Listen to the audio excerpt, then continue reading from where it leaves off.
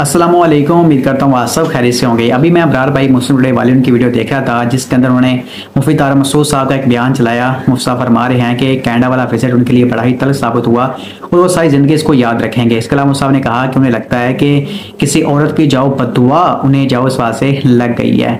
बाकी और भी मुस्सा ने बातें की हैं तो मैं चाहता हूँ पहले आप उनकी वीडियो देख लें, बाकी बात हम बाद में करते हैं। का ये तजर्बा मुझे बहुत ही तलख रहा है। यादें वाबस्ता रहेंगी हमेशा वैनकूवर से।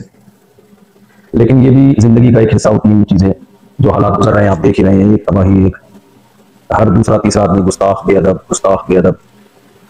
लेकिन मैं इन सब चीज़ों के लिए जहनी तौर पर पहले से तैयार था, इसलिए कोई मुझे तसलियाँ ना दे दिला सा।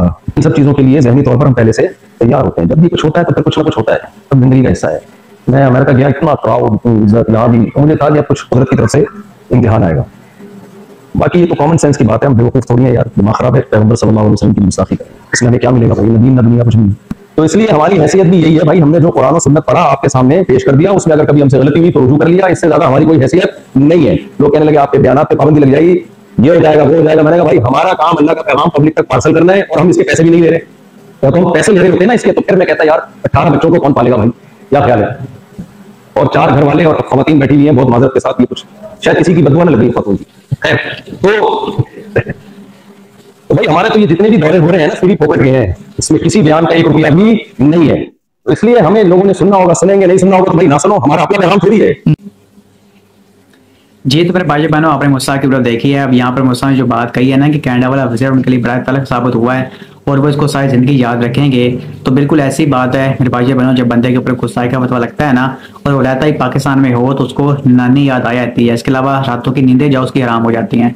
तो खैर, हम तो दुआ ही करते हैं कि अल्लाह पाक मुसाब के हवाले से इस तरह जो सानिया पैदा करे कि वो इस वाक़े को जो है वो भुला सकें। आमीन। इसके अलावा मुसाब ने कहा कि लोग उनके वास्ते टेंशन में हैं कि कहीं उनके बयान के ऊपर पाबंदी ना लग जाए। तो मुसाब ने कहा कि भाई, जिसने सुनना होगा बस सुन लेगा। तो मैं यहाँ पर मेरे भाइयों बहनों, में आपको बता दूँ, जिस बंदे ने ये बात की है ना कि मुसा के बयान के ऊपर पाबंदियाँ लग जाए तो ये बिल्कुल ही फजूल बात है। क्योंकि मुफी तार साहब को सुनने वाली ऑडियंस है नाइन्टी परसेंट सारी की सारी देवबंदी है। यानी कि देवबंदी वहाँ भी मुसा को सुनती है, और आपको पता है देवबंदी एक बहुत बड़ा फिरका है, जिसकी तादाद है करोड़ों में है। और देवबंदी पब्लिक इस बात से मुसाब से सेटिस्फाई है। लिहाजा मुसाब के बयान के ऊपर या फिर उनकी व्यूअरशिप में कोई भी फ़र्क नहीं पड़ेगा। बाकी बरेलियों का हिसाब आपको पता है, वो तो पहले मुसा से नाराज़ थे, लेकिन अब गुस्साखी वाला मामला हुआ, इससे तो बहुत ज़्यादा खिलाफ हो गए। और शिया आपको पता है, वो तो पहले ही अफसल मुसा को नहीं सुनते, और बाकी रहे भाभी और उनका आपको पता है कि आटे में न के बराबर है, वो किसको सुने या फिर ना सुने, एक ही साहब है। ये मैंने आपको बता दिया है। बाकी मुसाब ने कहा कि भाई लगता है किसी औरत की जाओ भतुआ लग गई है, क्योंकि मुसाब की चार बीवी हैं, अठारह बच्चे हैं। तो ये बात मुझे बिल्कुल जाओ समझ नहीं है कि मुसाब ने किस सेंस में जाओ ये बात कही है। बाकी यहाँ पर ये बात मैं कह सकता हूँ कि मुसाब को टेंशन है। नज़र लगने के भाई मुझे नज़र लग गई है तो यहाँ पे बदुआ लग गई है तो उस बात से एक वजीफा मैं मुसाब को बता देता हूँ। वैसे मुसाब एक आलम दीन उनको ज़्यादा पता होगा, लेकिन फिर भी एक सूरत हाल ऐसी चल रही है जिसमें मैं मुसाब को बता देता हूँ। मुसाब आपने फजर की नमाज़ पढ़ के सुरह खलास, सुरह ना सुरह फलक को तीन तीन दफ़ा पढ़ कर ना अपने हाथों पर ऐसे दम कर लेना है, और फिर उसके बाद फूक मार के ना पूरे अपने जिसम पर हाथ फेर लेना है। लेकिन जहाँ तक भी आपका हाथ जाता है ना, वैसे आपने काम कर लेना है। इसके अलावा शाम को भी आपने ऐसे काम करना है कि तीन तीन दफ़ा सुरह खलास सुरह ना सुरह फलक को पढ़कर हाथों पर दम करके वो पूरे जिसम के ऊपर जाओ अपने अपने हाथ फेर लेने हैं। इन अगर आप इस तरह करेंगे ना तो आप नज़र बस से इन शाह फजल करम के साथ महफूज रहेंगे। ठीक है, ये मैंने आपको बता दिया है। बाकी एक और बात मैं आपको बता दूँ, आपने कहा कि आप इसके लिए तैयार थे कि आप कैनेडा गए थे, अमेरिका गए थे, लोगों ने आपको बड़ी इज़्ज़त दी। तो मैं सोचा कि भाई अब कोई आजमाइश मेरे ऊपर आने वाली है तो मैं इसके लिए पहले से तैयार था। इसको आपने जब नज़र के साथ रिलेट किया।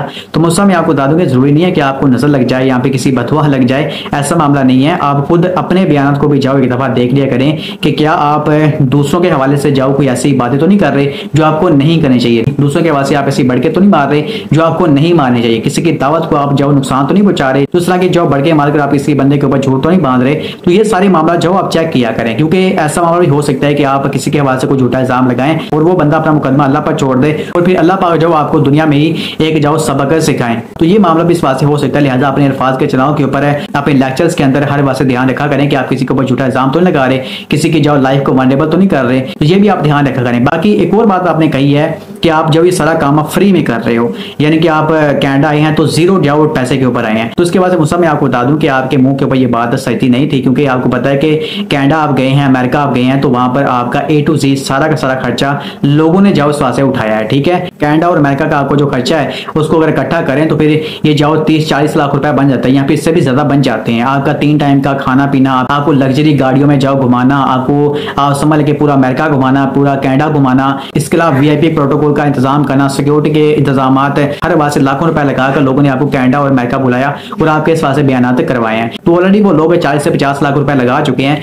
तो आप इसके बाद भी ये बात कह रहे हैं कि भाई मैं ज़ीरो पैसे के ऊपर आया हूँ। तो ये मेरे ख्याल से जवाब बात बनती नहीं है। आपको फ्री में कैनेडा और अमेरिका घुमा दिया और आपको इस से क्या चाहिए? इसके अलावा आपने अमेरिका और कैनेडा जाकर माशा खानदानी पिकनिक्स मनाई है और उस पर आपने वीलॉग्स भी बनाए हैं।